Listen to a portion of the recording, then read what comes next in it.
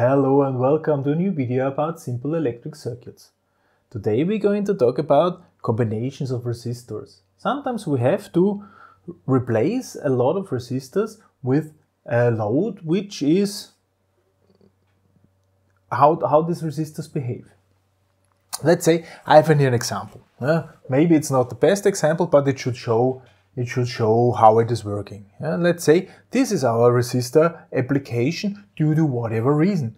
And let's also pretend we have a test and we want to see if all resistors are soldered in correct.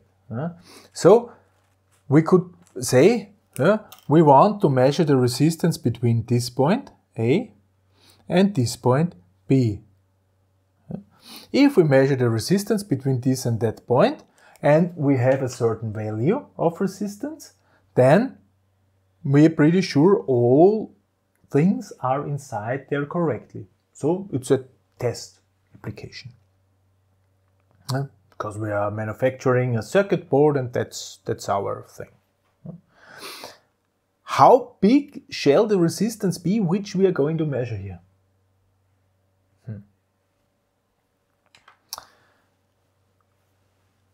It looks in first if you're a beginner it looks overwhelming a little bit yeah? so we just have to look things we know we know series and we know parallel circuits no let's find series and parallel circuits yeah? and here those two this one and this one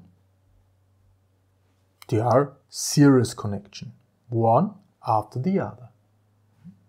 Clear. So we say, okay, we pull them, together, we say R34. It's good to name the resistance in a proper way so that we can find. So uh, the combination of A3, uh, R3 and R4 is called R34 and this is R3 plus R4 because it's a series. So actually that's 500 ohms plus 70 ohms equals 570 ohms. Don't need a calculator for this. Here we also have series connection. Hmm? So we can calculate here a resistance R67 is R6 plus R7 hmm, equals 50 ohms plus 150 ohms and this is 200 ohms. Good! Oh, good! I don't see any series connection. However, what I see is here those two. Those are parallel. Mm -hmm. Let's see. 1 divided by R12 equals 1 divided by R1 plus 1 divided by R2. Okay, so this equals 1 divided by 600 ohms plus 1 divided by 600 ohms this is 2 divided by 600 ohms. This is 1 divided by 300 ohms. So R 1, 2 is 300 ohms. This was convenient. We did not need a calculator because it turned out pretty fine.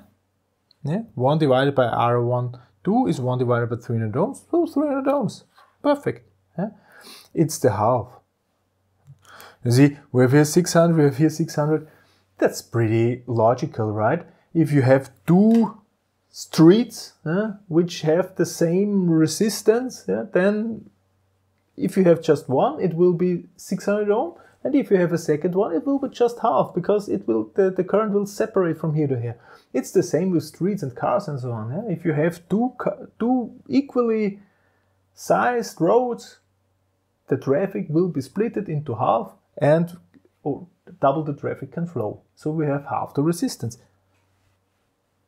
Clear. Hmm? And now, hmm, now we are going to draw it again. Okay, so we start here at point A. This is point A. And let's see, here we replace those two with R12. This is the, the thing we are replacing. So here if this R12, which is, which is 300 ohms. Right? And here we are already at point B. So here we have point A. Here we have point B. Here we're going to replace this resistor here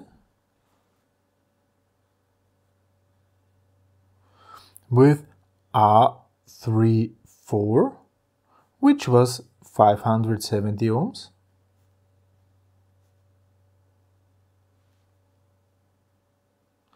We're placing, replacing this resistor here, R67, which was 200 ohms.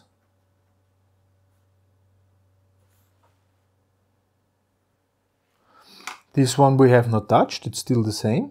So here we have still this R5.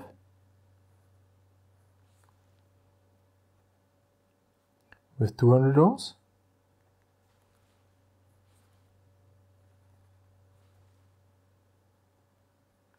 And here we have still this R8 with 80 ohms.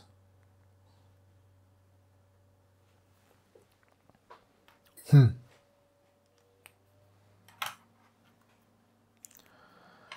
Now we might see new combinations. Right? Now we might see new combinations. Of course, those three are in series. However, I would cover the points I want to measure. I want to measure the resistance between here and here. So I will not make those points disappear. Hmm? However, we do have here and here two resistors which connect the same two points to each other and this is a parallel connection, parallel circuit. So actually we have here 1 divided by R567 combined, uh, the names, is 1 divided by R5 plus 1 divided by R67. And this is pretty much the same game as here because it's 1 divided by 200 ohms plus 1 divided by 200 ohms is 2 divided by 200 ohms. This is 1 divided by 100 ohms. So this means R567 is 100 ohms. Hmm? Okay, now let's draw it again. Start here. Point A. We still have here our R12, 300 ohm. Here we have point B. This did not change. So here we have A, here we have B. Right? Here we still have our R34,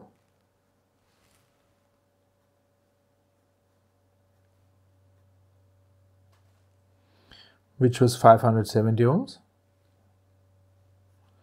And here we have now the new R567.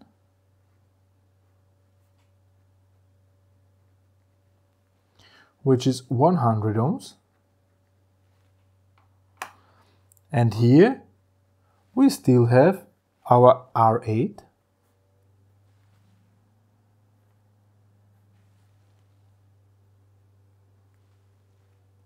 hmm? which is 80 ohms.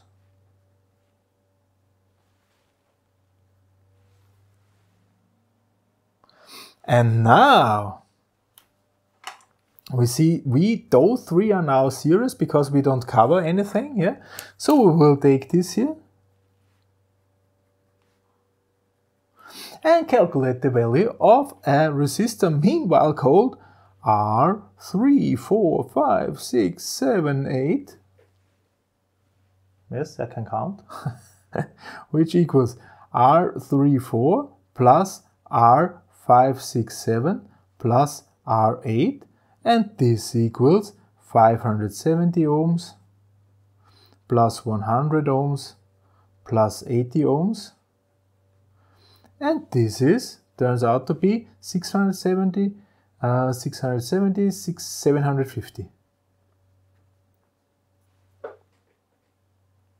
750 ohms. So what we do have point A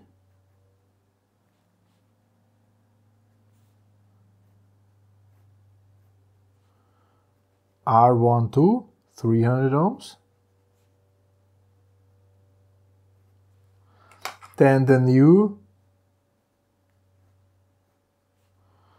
R3, 4, 5, 6, 7, 8, which is even 750 ohms. And here we have point B. And now we have a parallel connection. So this means R 1, 2, 3, 4, 5, 6, 7, 8. So the combination of all R's equals 1 divided by 1 divided by R12 plus 1 divided by R 3, 4, 5, 6, 7, 8. It sounds like in dance class. 3, 4, 5, 6, 7, 8, and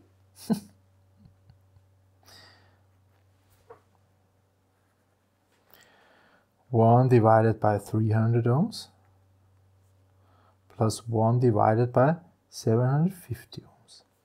Hmm? And now I grab my calculator. Here it is. Type this in. 1 divided by 1 divided by uh, 300 plus 1 divided by 7 750 214.28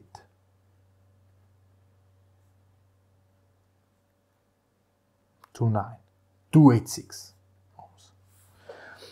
this is actually the value we would measure between those two points with these values.